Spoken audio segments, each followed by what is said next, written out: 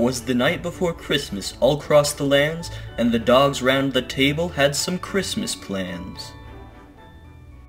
At the Christmas party we all bring what we need. One goose a cooking, two cans of pudding, three knives a poking. An elf, what?